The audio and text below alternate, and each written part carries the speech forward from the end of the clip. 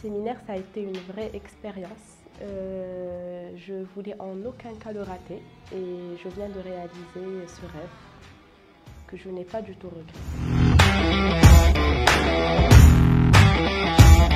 Euh, oui, oui, oui, oui. Il a répondu à énormément de questions que je me posais depuis quelques années. Donc euh, ça m'a permis, permis d'avoir des réponses claires à toutes mes questions. Le plus fort, c'est quand elle a parlé du deuil. Ça nous a, enfin, ça m'a appris à faire le deuil avec euh, une personne chère que j'ai perdue dernièrement.